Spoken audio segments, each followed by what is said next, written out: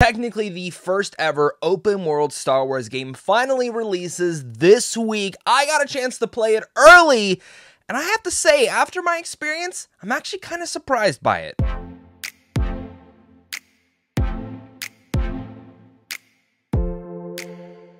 What's going on, buddy? Welcome back to a brand new game review. Haven't done one of these on this channel in quite a bit, but it is a very exciting time to talk about Star Wars with Star Wars Outlaws. Now, I know there's been a ton of conversations about this game specifically, mostly for the fact that people are mixed on the idea, and specifically a lot of the previews have not looked that great. And Ubisoft as a studio can be a little bit disappointing when it comes down to some of their games, but what was giving me hope was that this was from the developers of The Division, who, whatever you might think about those games, I found that The Division had such a great world building to it.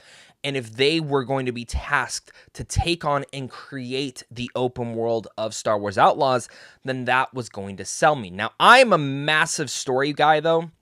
And I needed that story to be the big aspect of this game. And I got a lot of conversations about that. But this is a non spoiler review. You are safe. I'm not going to spoil the game. I'm just going to give you guys my basic overall thoughts on it. And as well, if you're looking for more thoughts on this, I actually did a podcast episode with my co host over on the End of the Geekverse channel where we talked more in depth on it. And that was filmed. We had actually not beaten the game yet. As of now, I have officially beaten the game. So, two different conversations, two different point of views as well on that podcast. And on the following one, after that, we will also be doing a follow up episode discussing our thoughts and full spoilers. So if you want more thoughts on it, check it out there. If for some reason you've been living under a rock and you don't know what Star Wars Outlaws is, well, it's set between the events of Empire Strikes Back and Return of the Jedi, where you explore distinct planets across the galaxy, both iconic and new and you risk it all as Kay Vess, a scoundrel seeking freedom and means to start a new life, along with her companion Nix. Fight, steal, and outwit your way through the galaxy's crime syndicate as you join the galaxy's most wanted. Now, basically, to put it out there, you are going through the underworld of Star Wars during this time period. And you're playing a scoundrel. You're not playing a Jedi. You're not playing a clone trooper. You're not playing a stormtrooper. You're not playing any of those sorts of things. You are a scoundrel and new to this world of some sorts. And someone who was raised and birthed in this and has always wanted to do this in the galaxy. And for me, just like starting with my pros, the massive thing that I can really give Star Wars Outlaws is the fact that it is diving into the underworld of Star Wars, which is something that whether it's the shows, live action, or of course animated, and even diving into the movies, that's always been one massive part that I've always wanted a little bit more from. You can say that about The Mandalorian. I love The Mandalorian series for the most part, other than the last season, but I do like when he dove into a little bit of the underworld. Not enough. Same with Book of Boba Fett. I was expecting it to, it never really did, and I really think the closest thing that we've ever gotten to in terms of live action stuff was probably Solo, a Star Wars story, which again wasn't even the deepest thing to it. It was just the closest thing since we were following Han Solo. And when it comes down to the animated stuff, of course, certain things in Clone Wars and Rebels did kind of dive into this stuff, but again, never into the most meatiest of things.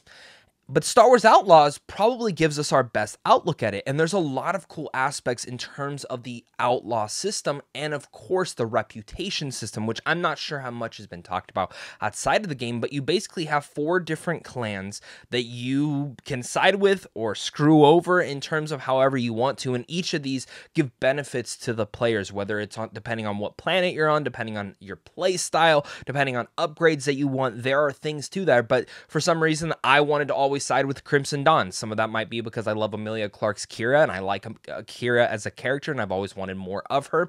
And same thing goes like maybe you want to side with the Hutt. So like all of Tatooine is basically Hutt territory. So like if you're not on Jabba's good side, you basically get shot at almost every place you go. And that's of one of the things that I think really elevates this game is that reputation system. And maybe it's not the deepest thing, but it is something that really kept me engaged in specifically cho choosing missions and contracts. And when you do these contracts, maybe you're doing one for the Hutts. By the end of that mission, you still might have to make that choice of whose side do I want to be? Do I want to still work for the Hutts or maybe do I want to screw over the Pikes instead, or maybe I want to uh, side with the Pikes on this? There's a lot of interesting and creative ideas with the underworld in here that for me intrigued me and always had me thinking which side do I want to go on. And at first I thought it was a little bit surface level, but it does get a little bit deeper as I just started to play through the game a little bit more. And again, a really fun factor to there that really adds to the immersive level of Star Wars Outlaws, which is another thing that I actually want to mention is the immersiveness of this game. Now, I'll talk about in my issues, my cons. There are some glitches here and there, and there's some things that take you out of that immersion. But for the most part, it really does feel like you are a scoundrel. You have your trusty pistol, you got your trusty little friend Nix, who I love Nix. Just as a side note, like Nix is an all-star character. Like my wife walked in on me playing this, and she's like, "I want a Nix," and I said, "Yeah, I want a Nix too." He's so cute and he's so fun and i like what you can do with him whether it's planting traps whether it's pickpocketing people whether it's attacking people re- literally all these little things and all these fun ideas were so great but diving back into that immersion thing every single piece of this game whether it's the worlds whether it's the locations you go to everything is so realized and brought to life specifically the small towns and even whether you walk into a cantina or a merchant store you're just walking down the street of Kijimi these little things really add to the flair of what Star Wars is and some of these planets that you've seen in media before. It is really cool to walk around, see the locale, and like actually pinpoint and notice, like, oh, this is from the movie, oh, this is from the show. And all these little details is like kind of something that like the attention to detail as a Star Wars fan really meant a lot to me. And it was one thing that I have to give Massive Entertainment major props on. Because that immersion was the thing that actually had me stop, look around, and just take in the scenery. And the attention to detail is very much there. There's not an issue with no one walking around or just little characters. It does feel like a fully fledged and lived in town. And say you go to a random little jungle town, there is enough people to make it feel like realistically, yeah, like the eight people that live here, when you mention that this is the smallest town probably hidden in the jungle, it makes sense. These little things always add to, again, that immersion of it all. And I really liked that aspect. I like going around on the speeder, which just talking about the speeder, it's a lot of fun. It feels great to kind of just blare through the deserts of Tatooine or the blare through this jungle scenery. And I always had a blast going through it. And then same thing with your your ship, which I'm always a big guy on ship combat. I, am always curious to see how they nail it. And for here, I thought the ship combat was overall great. I like the upgrade system as well for this. It's not just based on bu- buying money or buying parts. You legitimately do have to do some research, find some things, and it's never feeling grindy which is like a massive thing for me. This doesn't feel grindy, and that's actually the biggest aspect that I can give this game is it doesn't feel like a typical Ubisoft open world game, which is literally what I think a majority of people were expecting. There are clichés to it, but it's not like Assassin's Creed or Far Cry where you climb this tower, you take out this outpost and it opens up part of the map, or you do this and you do that and it, it opens up this. No it is very much its own thing and i would actually more compare this game like there's been some comparisons to grand theft auto but it's not grand theft auto like yeah you can get a wanted level and things like that and it's cool to go up against the empire but this game is actually way more uncharted than it is anything close to a GTA or anything of that nature. Imagine if Uncharted got an entirely open world scenario. And I think that is the way to kind of look at this. Um, and that's what I really overall liked because it does feel action adventurous. You are sometimes climbing through these random caves to find a random treasure that Nix spotted out or you got intel about. And those are the things that every time a lot of the missions were Uncharted based, it gave me reminiscence and memories of the first Uncharted, which was very charismatic character with other charismatic characters around him, a surface level villain, and an overall goal to find this treasure, or again, in this case, pull off the biggest heist in the galaxy that they've ever seen. And as you're going through it, it it's a little bit bare bones. And for me, again, we'll talk about that in a little bit more in a second. Last but not least, I think the last thing to mention is the gameplay. The gameplay feels smooth. I had fun with it. I never ran into any issues. I never ran into any glitches. Maybe it could have been a little bit deeper, but I overall liked all the different things you can do with your pistol. But with that said, let's dive into my mixed aspects because I don't think this game is perfect. I don't think it's one of the best Star Wars games ever made, bar none, not even close. And some of that does come down to the story. Now, the story I think is surface level for the most part. You get to understand who Kay Vess is as a character, and I like those little interactions and specifically what it dives into in her past with Nix and her. And I think for me, when I actually look at this entire game, as I mentioned with Uncharted, it's a nice surface level thing. You get just enough to like this character, but not enough to dive deeper into it. And I think for me, if this is the start of a brand new franchise and a brand new character, I'm excited to see what they do next. Because specifically with a lot of Ubisoft games, most of the times the second game is a little bit of the stronger one and the less prototypish thing. And from here, they can take on a lot of their different approaches to where, okay, I like this idea, I like this idea, the fans like this idea, let's move forward with that now. And a lot of that goes with the story. I would like to see a little bit more of a meatier story, but for the most part, it's serviceable. I liked it. Some people might think it's a little bit boring, but I like kind of the whole approach of like touching around in the underworld. Alongside this, I think this will probably be the biggest thing. And this one sides more towards the cons, but I also am a little bit mixed because I didn't mind the repetitive loop of it. Some of the mission variety. A lot of the mission variety is go here, steal this, kill this person, or go here, do not kill anyone. Try and be stealthy as much as possible and get away and steal this thing. And it is, for the most part, the same mission variety. I really wish we would have gotten a little bit more of that. I don't see myself past 45, 50 hours in here trying to 100% complete the game.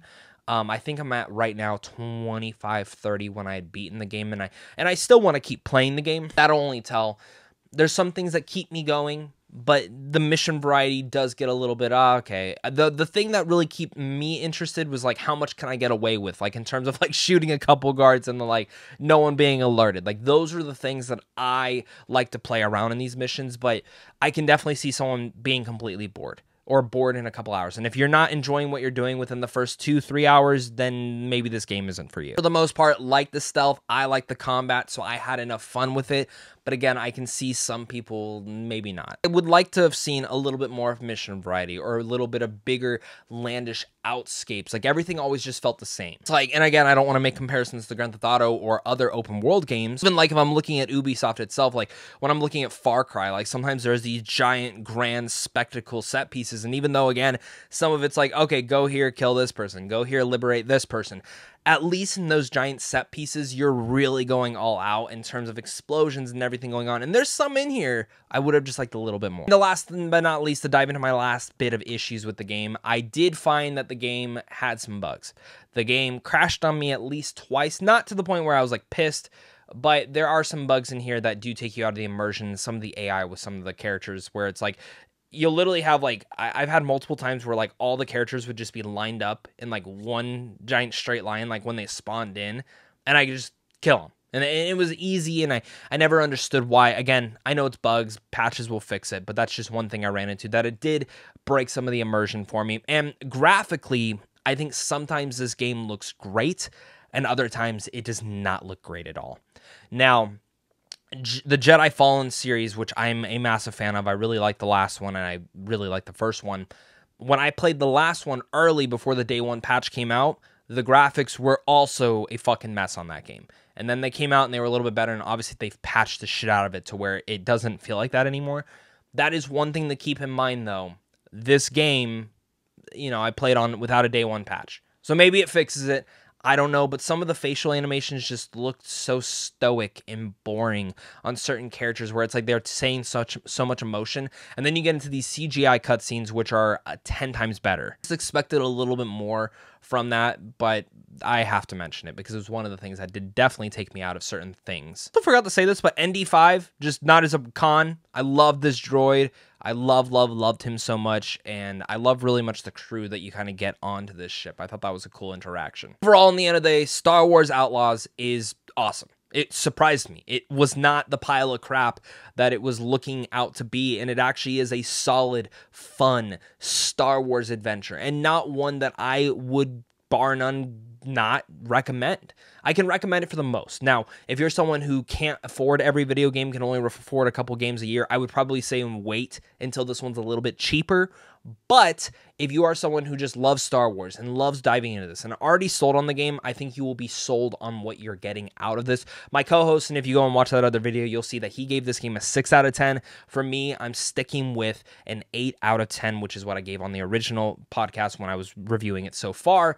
After beating it, I'm still at an 8 out of 10. I had a really good time with this game, and I think this is a great premise and setup for what could come to the future. Not saying that they left it open or anything, But I'm just saying, in terms of what was given here, and in terms of what Ubisoft has shown in the past, this is a good enough start that it made me happy, satisfied, and as someone who literally has almost no time to binge play video games anymore, this game actually had me coming back to it and actually foregoing other things that I needed to get done. So that's my thoughts, guys. Make sure to leave your thoughts down below. Hit that like, subscribe button, and of course, until next time, stay classy.